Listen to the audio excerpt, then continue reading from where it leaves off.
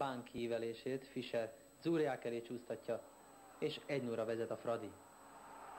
Három perccel később tűzi játék a Vasas kapuja előtt. Végül Bánki az FTC második gólját szerzi. És 8 percen belül a harmadik Fradi gól. A szerzője ismét Zóriák. Második félidő, második perc, az első lövést még Védi Zsiborás, szabadi ismételés, nyúl, beljebb segíti a labdát, így a végeredmény Fradi Vasas 3-1.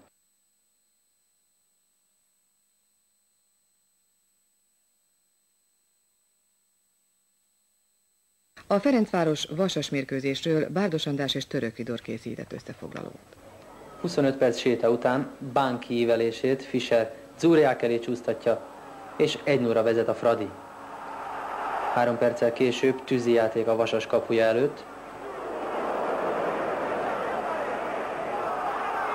Végül Bánki az FTC második gólját szerzi. És 8 percen belül a harmadik Fradi gól. A szerzője ismét Zóriák. Második félidő, második perc, az első lövést még Védi Zsiborás, szabadi ismételés, nyúl, beljebb segíti a labdát, így a végeredmény Fradi Vasas 3-1.